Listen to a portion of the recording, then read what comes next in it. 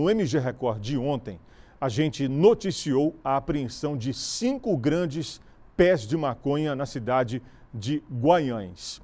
Também na cidade, os militares apreenderam mais um plantio deste entorpecente, desta vez aproximadamente 100 pés cultivados. A apreensão foi realizada em um lote vago. A polícia procura o dono do local. O soldado José Dias gravou um vídeo.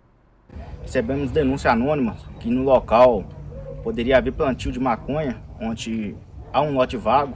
A guarnição, ao chegar no local, verificou, através do muro, que havia essa plantação ao lado esquerdo, do, no fundo do lote.